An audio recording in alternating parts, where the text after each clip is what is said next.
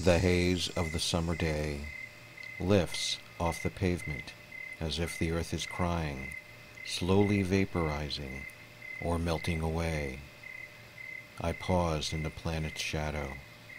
Night crickets and the pulse of cicadas merge their lonely songs. Spinning off, the earth moves on. If it hears their distant cries, she sings not a word in response or reprise.